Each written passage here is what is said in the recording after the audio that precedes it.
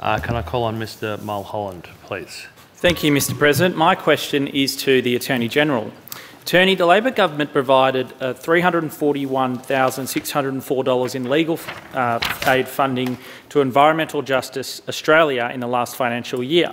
The Victorian taxpayer-funded organisation re recently appointed Alina Leikin as its principal solicitor. Ms Leikin's conduct while at the Environmental Defender's Office was slammed by Federal Court Judge Natalie Charlesworth in a January 2024 judgment which found she had been distorting and misrepresenting what the Indigenous informant had said, and her actions constituted a form of subtle coaching of other Indigenous witnesses. Attorney, why is the Allan Labor government now funding the salary of an environmental legal activist whose professional reputation has been shredded by a judge of the Federal Court of Australia? Minister.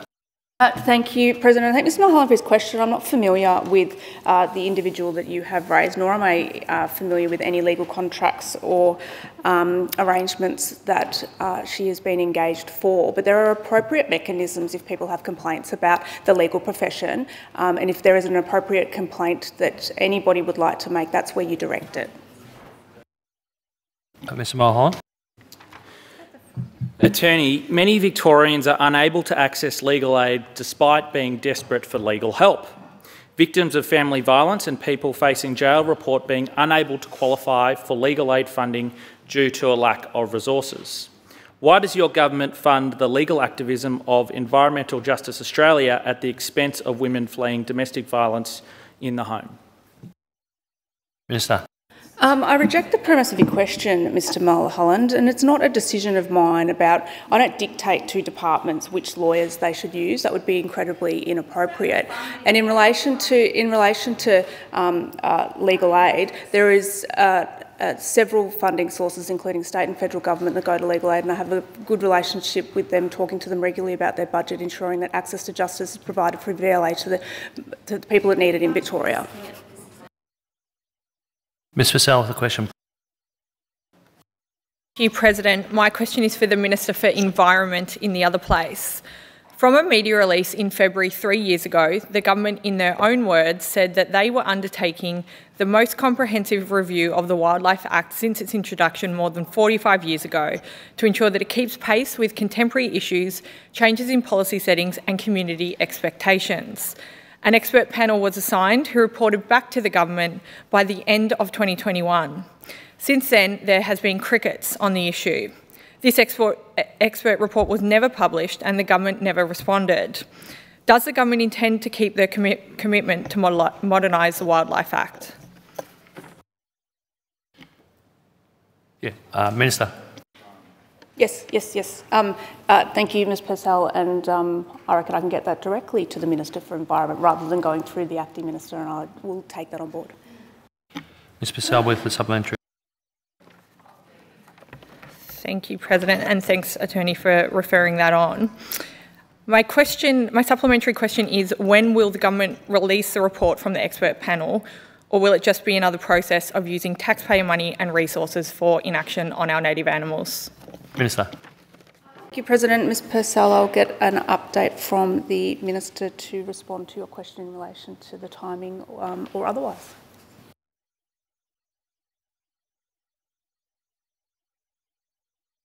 Minister Stitt, Minister's statement. Uh, thank you, President. I rise today as Minister for Multicultural Affairs to acknowledge the ongoing distress in our community as a result of the conflict in Israel and Gaza.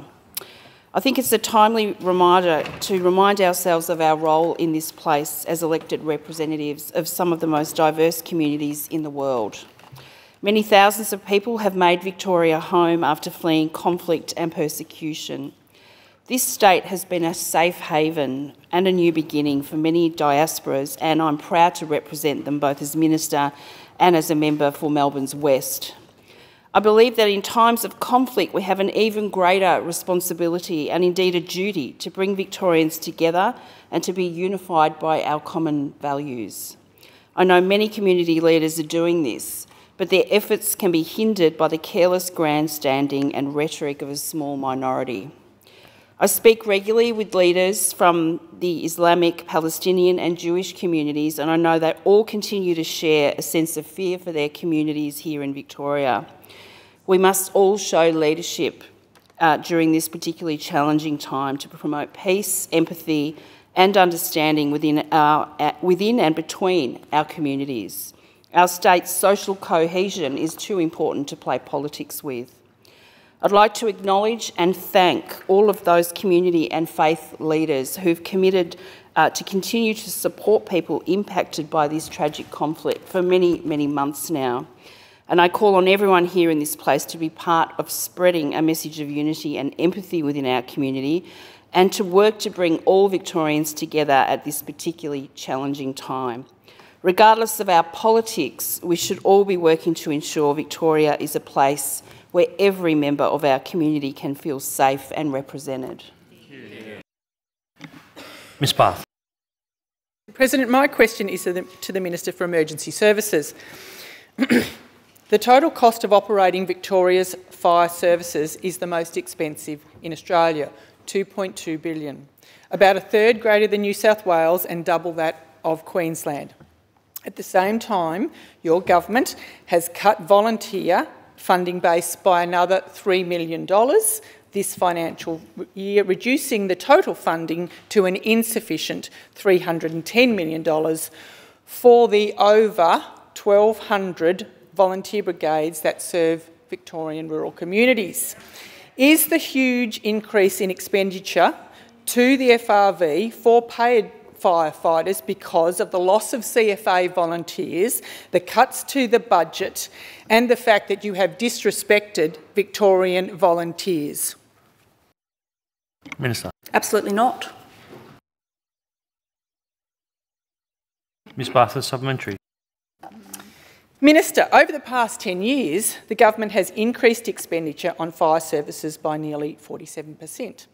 Yet Fire Rescue Victoria is recorded, has recorded a $170.3 million loss in the 2022-2023 um, era, worsened by the ballooning expenses uh, on employees now costing more than $887 million. If the government can't manage money, it can't manage the FRV budgets, uh, it can't resource the Victorian CFA volunteers properly, how can Victorians have an expectation, have a confidence that this government will keep them safe during bushfire and fire events? Minister. Uh, thank you, uh, President. Uh, Ms Bath, a minute's going to be hard to get through um, a big a comprehensive response to that. Um, well, there was a, you asked a, you should ask that question first. Like Victoria is known around the world as one of the most fire-prone areas.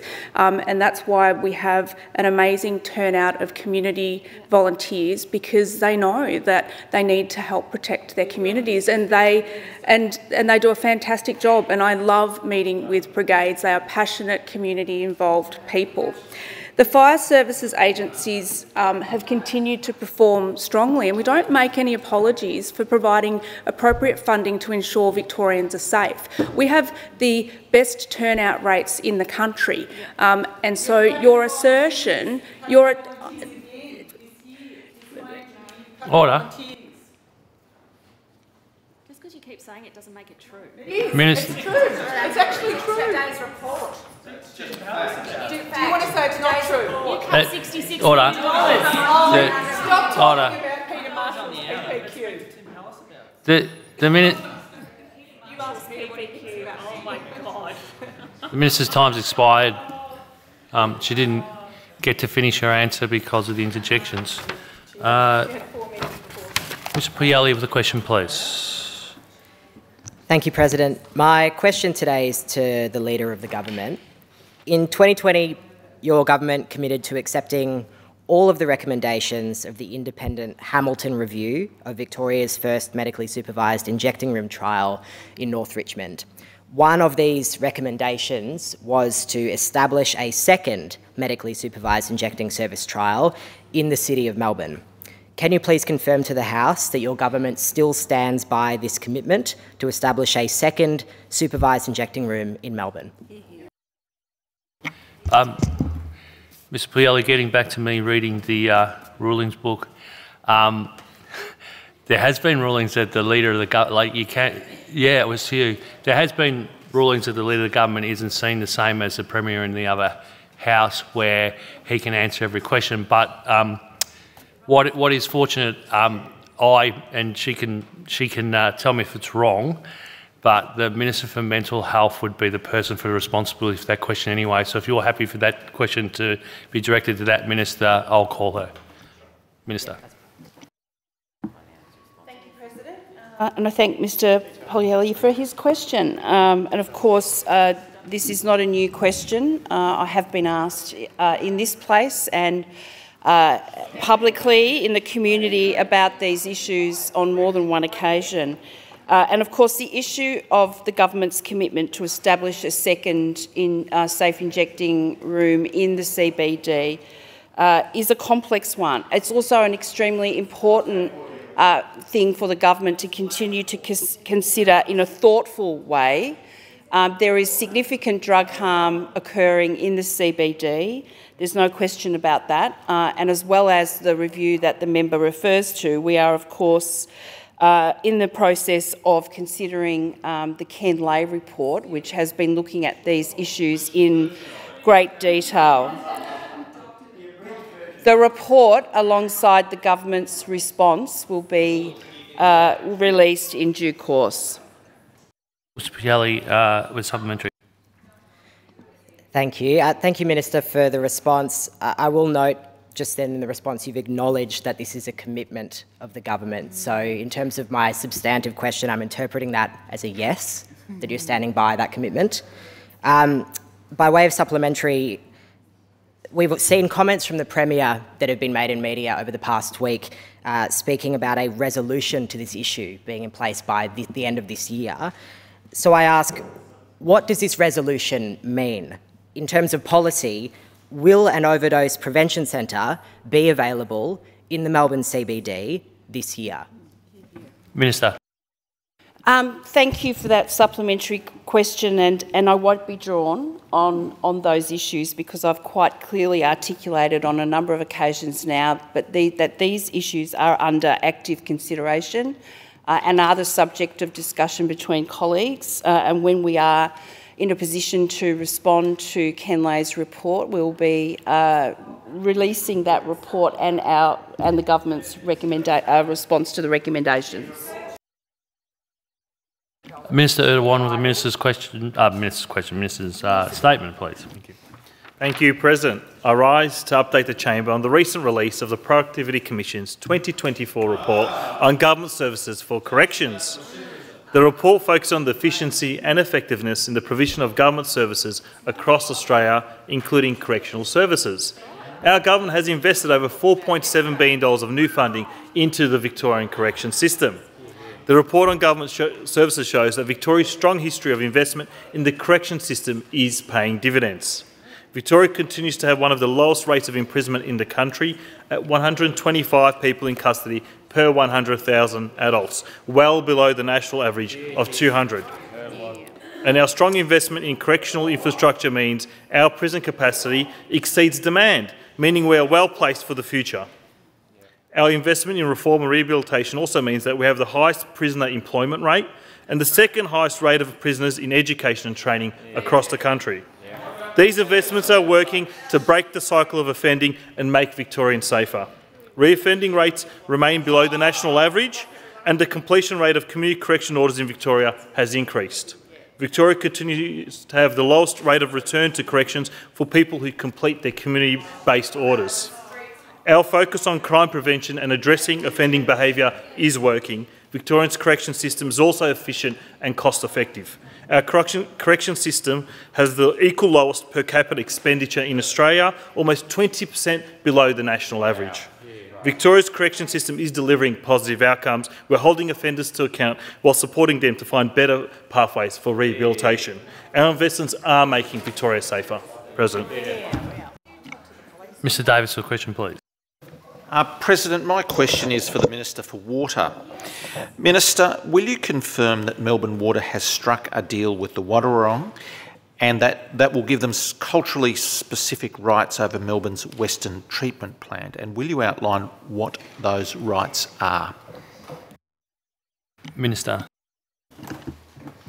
Thank you, President. Well, Mr Davis, you're nothing if not utterly predictable because uh, one of the things that I knew was going to happen when I opened uh, the paper this morning to see your various theories on cultural heritage management plans uh, was indeed a precursor to another conspiracy by you as to the way in which decisions are taken by water authorities. Mr Davis on the point of order. Question time is an opportunity for government ministers to answer questions, not to go on a frolic about the opposition. Uh, I'll call the minister back. I'll call the minister back to the question. So, Mr Davis, uh, one, of, one of the great challenges that I have, and one of the great difficulties that I have with this line of questioning, which I think is more than a little nastier than earlier questions that you've asked about the way in which allocations, dividends, and payments are made and decisions are taken by water authorities is that this might well be forgiven for being considered an ugly little patch up for a decision taken by the coalition to walk away from a commitment to treaty made last October Mr Davis, point of order. Ministers defying your ruling. The job of ministers in question time is to answer questions, not to attack the opposition. Oh, I'm not so sure if she defied my ruling because she did go to how decisions are made by um, in, in her portfolio, but I will call her back to the question. Thank you. Uh, so, Mr Davis, let's talk about uh, the engagements and partnerships with First Nations communities, leaders and people around the state, including as they interface with water. And for avoidance of any doubt and to perhaps preempt any disinformation or misinformation, authorities, agencies, departments and indeed, I would hope, all levels of government partner with First Nations organisations and communities to make sure that we are in the process of meeting legal requirements for the work being undertaken. That includes a suite of environmental, health and safety and other obligations uh, that inform this work. And I know, and Melbourne Water has been clear, that it makes absolutely no apology for working closely with the community and stakeholders, including traditional owner groups. So individual projects are guided by government policy and so therefore within the realms of each discussion about each project and the way in which and the way in which those decisions are taken, close engagement happens, Mr Davis, in a way that is perhaps a little more intricate than you might appreciate. Huh? Mr McGowan point of order. Yes, further to Standing Rules 8.071, Minister. Um, uh, President, the Minister is now clearly going off on a different frolic of her own, and the question was very specific about the nature of the agreement in, in this instance. So I'd ask you to draw the Minister back to that question. Well, yeah, I, I don't uphold that point of order because the Minister, like, people need to be questioned in long-winded preambles too, because that forms part of the question. And so the Minister, the Minister well, I'll take back that terminology. Long preambles. That so which for, which which the chamber needs to accept. There's many rulings that preambles form part of the question. So I don't uphold the point of order because the minister has been relevant to the question. Ms Crozier, point of order. President, I know that I, I don't want to defy your ruling, but I'm just wanting to an explanation. We have to give some context to the question. Mr Davis needed to do that, and I would say that this, this is not a long preamble, as you describe, about the question. It was a very simple one sentence and then one question. And I, I, I don't want to defy you, but I do uh, think there Ms, needs Ms. to be an understanding about context Ms. when questions are asked. Crozier, I did withdraw the word long and I accept that maybe I, mis- I misused that. But um, it, it, Presidents Chamberlain, Atkinson, Smith, like, you know, they've all, these are not my rulings that, you know, and, and probably greater people than me have made these rulings. No. So I, I, I, bow, I bow to my, I, I, I bow to my great predecessors um, on some of these things. Um, but and, and any, anyway, I still take that away, take the preamble away. I still determine that the minister's been relevant to the question, but I will call the minister to continue. Thank you very much. So, Mr Davis, if you were to have a look on Melbourne Water's website, you would actually see the partnership agreements that Melbourne Water has, including with traditional owner organisations.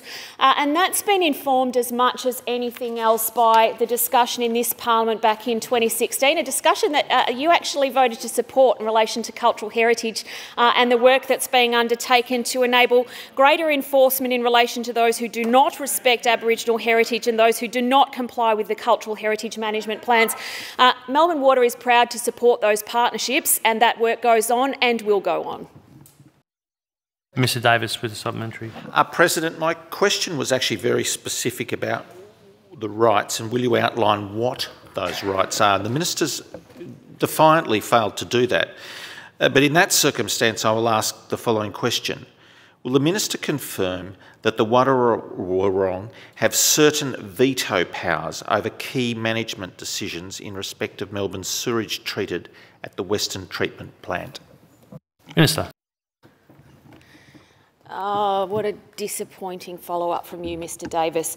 The discussions that we have across the board and through organisations and entities that operate under state legislation are guided and ought properly be guided and informed by principles of respect and a move toward self-determination. That may well be a concept increasingly anathema to those opposite who do not accept that there is a proper basis upon which to consider and indeed to activate a transfer of power and decision making to traditional owners. Ms McGowan, point of order. For the 8.071, it has to, the answer has to be relevant from the minister. And this question was very specific about whether there is a veto right in respect to management decisions. It's a very specific question. It's not about our position no or previous point, positions. No, I ask no you to bring the minister to, to the order. the minister's been been relevant to the question. Did you want? Point uh, President, this is actually a very straightforward question. It's a yes or no question, and the minister should answer with a clear answer. It's not for the president to, to um, force the minister to answer in any way other than how she sees fit. And, and, and, I, and I still believe she's being relevant to the question. But, Minister. Thank you. Uh, Mr Davis, uh, and this is going to be hard for you to swallow. It's plain wrong to suggest that any agreement with traditional owners will have an impact upon Melbourne's water supply. In fact, the way in which authorities' role is to provide water, sewerage, drainage, uh, and catchment and waterway management, and agreements don't actually compromise this obligation. Uh, thank you. Um, Mrs. Deeming with a question, please. Thank you. My question is for the Minister for Water. Last year, I spent three days at EcoForum learning from world class experts about PFAS, the environmental contaminants that so plague my Western Metro region. As we know, Victorian state government run corporations such as Melbourne Water process sewage water for redistribution to the agricultural industry via the circular water economy. The biosolids and recycled water produced are used to irrigate and fertilise farmland that produces fruit and vegetables for human consumption, as well as to grow feed crop for livestock sold for human consumption. So given that in early November 2023, international experts uh, thoroughly reviewed the published literature on um, PFAS and in particular PFOA and reclassified PFOA as pos from possibly carcinogenic to humans to definitively carcinogenic to humans, what action has the government taken to prevent human consumption of PFAS in general and in particular PFOA from application of contaminated biosolids and recycled water to agricultural, agricultural land, such as in the Werribee Basin. Minister. Thank you very much. Um, Mrs Deeming, I'm really happy to give you an answer in relation to Werribee and the Werribee recycled water um, projects that you've talked to, but this also appears to be a question when you talked about PFOS and PFOA more generally um, for the question uh, to, for the attention of the Minister for the Environment. I'm happy to answer it in relation to water. Yeah. Okay. Minister. Yeah, no, that's all right. That's fine. Um, should you should you want to get any general information, I'm also happy to, to facilitate that for you as well. Um, so thank you for raising this issue and thank you for talking about recycled water and the way in which it forms a really important part of circular economy work and identifying biosolids and other byproducts that can and indeed do form a, a really important part of meeting our energy needs as well as opportunities to make sure that our productive land becomes even more productive. The Werribee Irrigation District, as you would well know, uh, is one of the uh, foremost uh, areas in Australia for the production of Mr. on point of order. Thank you very much. But I said such as the Werribee Basin. The substantive question was what action has the government taken to prevent human consumption of PFOA from the recycled, um, the circular water economy? Uh, I'll bring the minister back to the question. I, I think, Ms. Deeming, that um, yeah, I think you were advised the question's probably best to the Minister for Water, and then the Minister for Water's indicated maybe that's not the right thing, and the Minister of Environment would be best to answer it as a global as a global issue. So, so it's not it's in our purview that there might be a, an issue here. So I'm absolutely happy to take advice from the Minister if it would be better a, to talk about it globally if it was for the Minister of Environment. Uh, to the point of order, the question gets to the treatment of the water. That's the, that's the crux of the question. So therefore, it is squarely, in my view, it is I, absolutely I, I, in the purview of the Minister for Water. And I'm not, and I'm not trying to.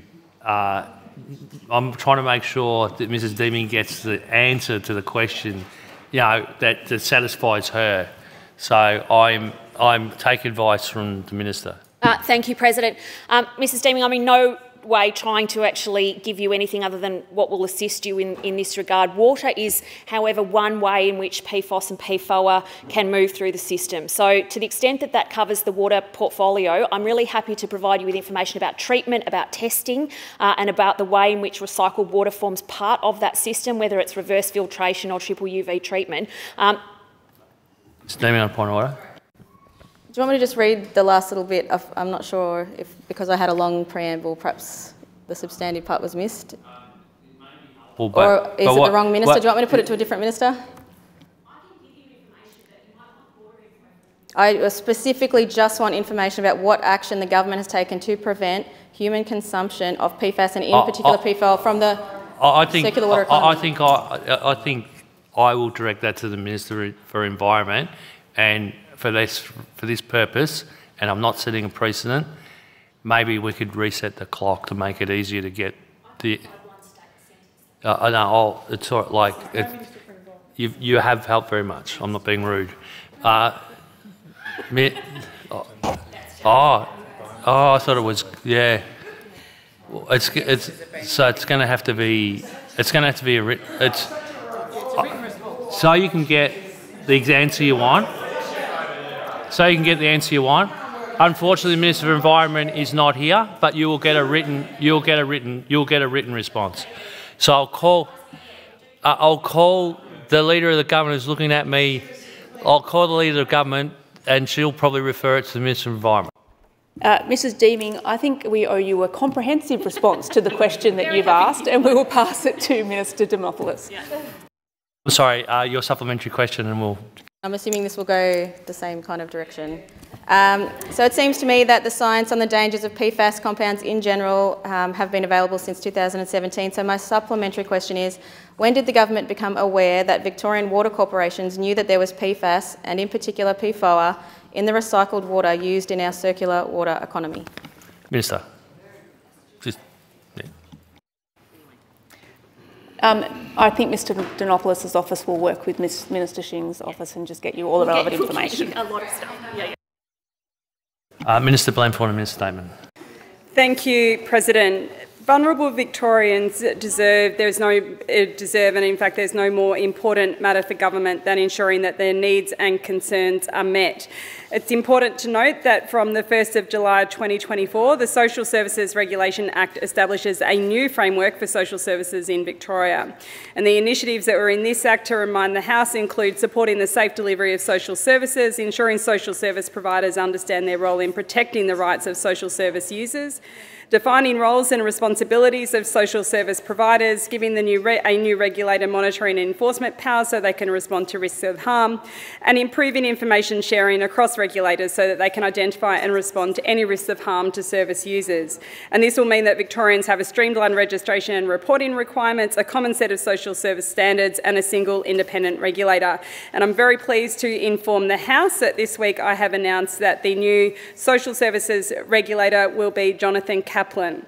Mr Kaplan was previously the CEO of the Victorian Registration and Qualifications Authority, which regulates education and training in schools and vocational education and training providers, and of course enforces the child safe standards in schools. And from the 1st of July, Mr Kaplan will oversee the establishment of a single set of social service standards and a single registration process for the hundreds of community organisations that work tirelessly day in, day out to protect the needs and concerns of vulnerable Victorians. The regulator has the uh, capacity to identify shortcomings in service delivery and work with providers to improve standards, issue fines to providers, and initiate criminal proceedings for aggravated breaches of the standards where there has been willful or serious non compliance with those standards.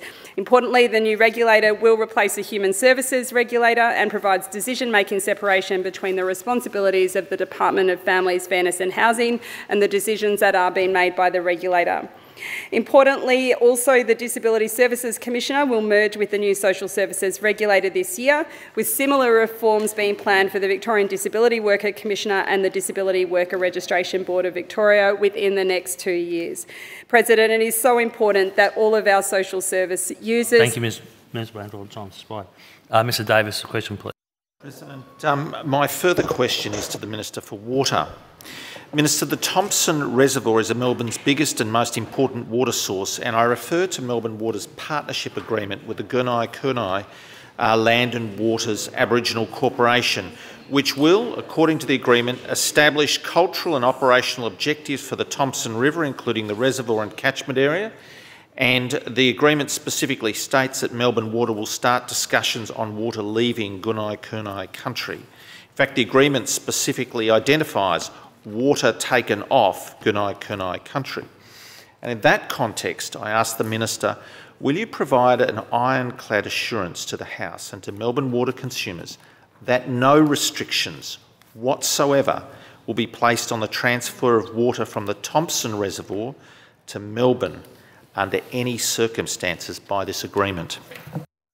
Minister. Firstly, Mr Davis, uh, it's a little telling that you can't even pronounce the name of the First Nations groups uh, who, who, who are part of this long-standing partnership and engagement. The Gippsland... Order, order. Minister, continue. The Gippsland Land and Waters Aboriginal Corporation includes Gunai Kurnai representatives, Mr Davis, and Daniel Miller and others from GLAWAC have worked incredibly hard to forge a partnership grounded in mutual respect and in an understanding of the innate connection between the oldest continuous culture on earth and country, which includes water. Mr Davis, whenever you go along should you wish to go along to any Gunai Kurnai events, or indeed to have any conversations or discussions with members of Gunai Kurnai communities, you will perhaps understand that in developing frameworks for partnerships between entities such as Melbourne Water and First Nations organisations, First Nations communities and families within those communities, the discussion around self-determination and around partnership is something which goes beyond perhaps the quick gotcha moment that your question suggests. And Mr Davis, when I, when I look to how best to assist you in understanding the way in which this works. I would direct you, I would direct you to Water is Life, a roadmap for traditional owner access to water. This is an agreement for the next 50 years, a framework within which we can have a good understanding, good discussions, respectful, good faith engagement on the way in which traditional owner water and access to water occurs. And when Melbourne Water, or indeed any other entity, within uh, the remit that we're talking about, the state of Victoria, engages with First Nations communities, it is with a view to understanding how we can have a collaborative and shared understanding about access to water and about how different needs, histories, cultures and priorities can be met. Mr Davis, the question presupposes an interruption of supply occasioned by or supported by or facilitated by First Nations engagement and indeed some form of contractual obligation. That's a nasty line to run.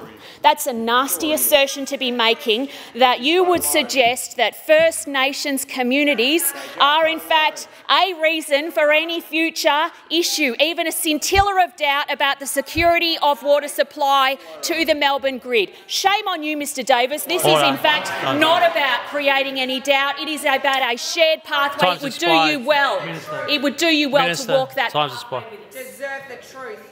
Why don't you give us the truth? Mr Davis, supplementary. Well, President, the shameful obfuscation we've got over here, where the minister just can't plain admit that this does provide some veto or control power over water coming from the Thomson into Melbourne. That's the truth of the matter. The minister doesn't want to face it, and Melbourne uh, people are entitled to know the truth and hear honest answers from this outrageous minister. Um, I therefore ask, under the agreement, the Gunai Land and Waters Corporation will have a formal management role over the Thomson Reservoir and water being moved off country. Minister, will you explain to the House how the formal co-development agreement will operate to protect the water supply of Melbourne? Minister. Mr Davis, again, I've pointed you to Water is Life. I would perhaps uh, direct you, it might be helpful if you're inclined to even pick it up and crack the spine of it, to look at the water plan, to look at the way in which the Gippsland uh, Sustainable Water Strategy, um, the work around a long-term, uh, multi-decade process to make sure that water security is delivered and that we have a plan for adaptation and for resilience as our climates become drier, is informed by and enhanced by partnerships with First Nations organisations.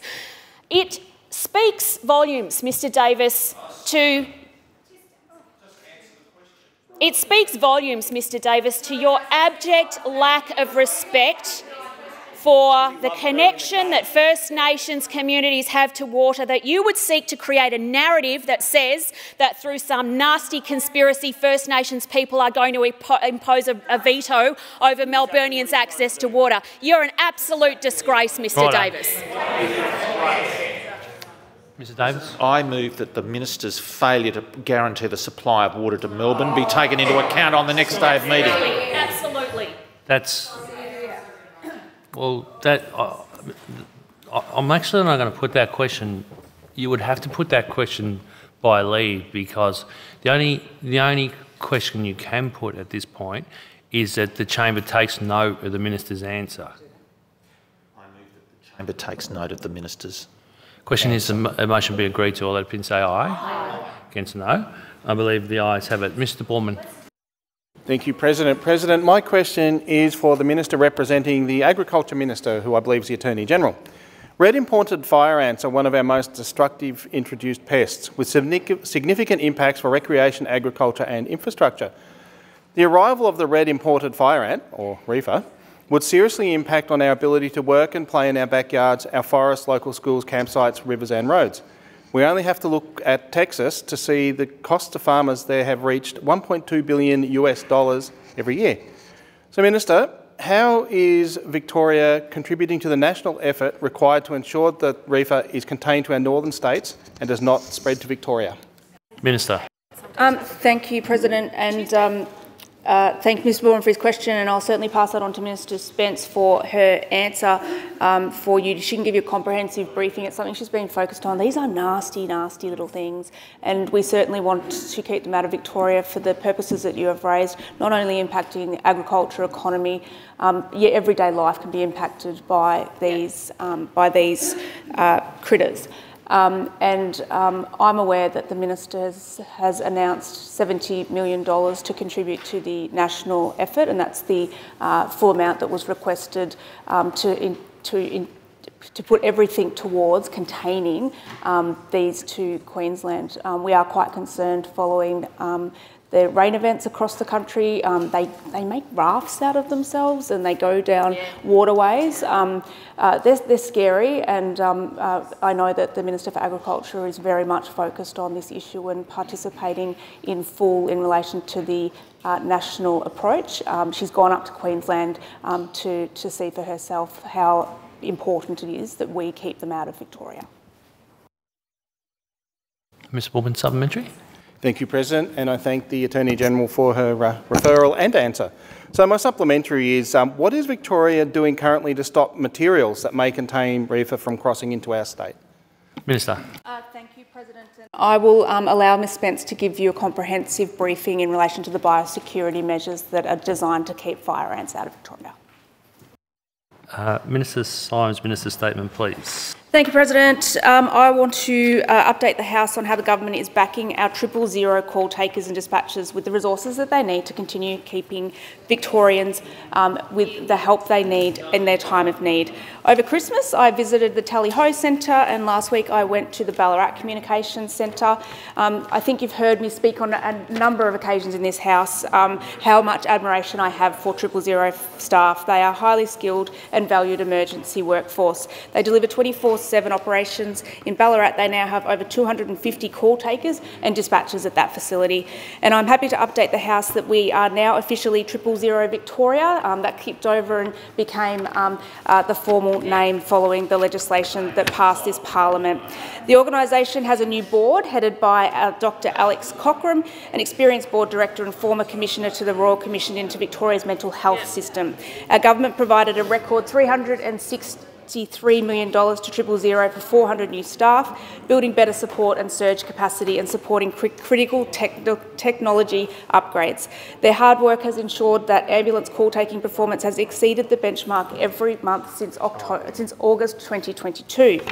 The latest report on government services, which has got a fair run in this place this week, I've got to say, um, but that data confirms that Victoria has the best ambulance call answering performance in the country. I look forward to continuing the work with CEO Deb Abbott and the new board to ensure Triple Zero is best placed to serve the community now and into the future. Thank you. That ends our questions and minister statements.